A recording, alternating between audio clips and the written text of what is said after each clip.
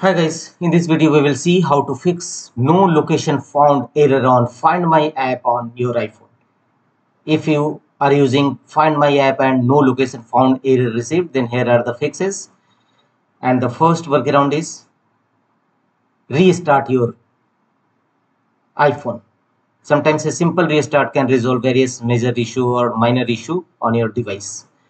And check whether your error is resolved or not. If not, go to settings and here tap on general settings. Here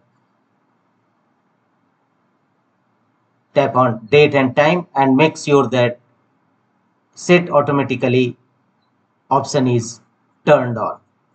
And also correct date and time is set in your iphone.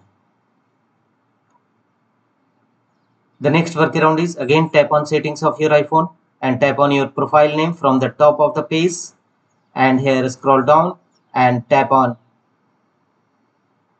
sign out from your Apple ID and again after sometimes re-sign in your, with your Apple ID and check whether your error no location found on find my app is resolved or not. If not go to the next fixes tap on settings again. And here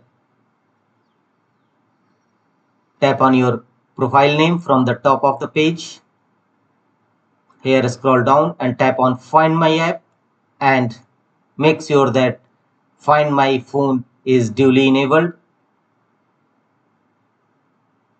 Turn off one time and again after sometimes turn on again and send last location find my network duly enabled all the options and check whether your find my app error no location found resolved or not. If not go to the next fixes.